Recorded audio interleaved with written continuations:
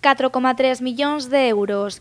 Esa é a cantidade investida pola Xunta de Galicia na transformación da estrada PO308 no tramo entre o Covelo e a Granxa. Unha transformación que se divide en dous proxectos.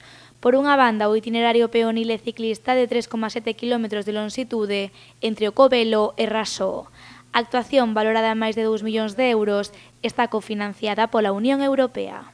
Estamos traballando para que esta estrada sexa moito máis distinta, máis humana, máis segura, máis funcional, unha completa transformación da estrada e que a PO 308 se converta nunha referencia en mellora de seguridade viaria eh, nas estradas da titularidade autonómica.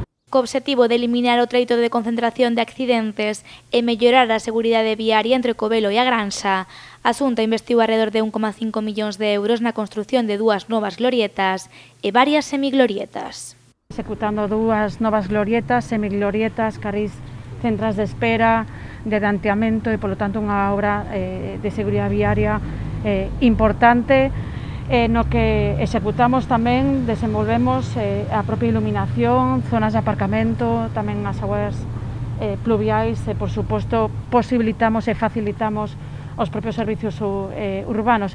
Na visita a esta estrada, o alcalde de Pollo agradeceu o traballo realizado pola Xunta de Galicia no seu municipio e aproveitou para pedir unha maior colaboración entre as dúas administracións.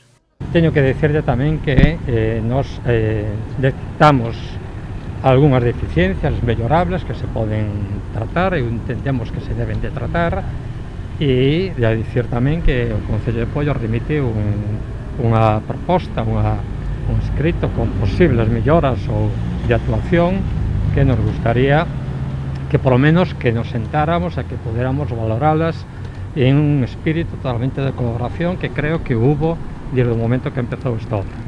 Etel Vázquez asegurou que estas obras son só o comezo dun traballo máis amplo, co que se pretende converter a estrada PO308 nunha referencia de seguridade viaria.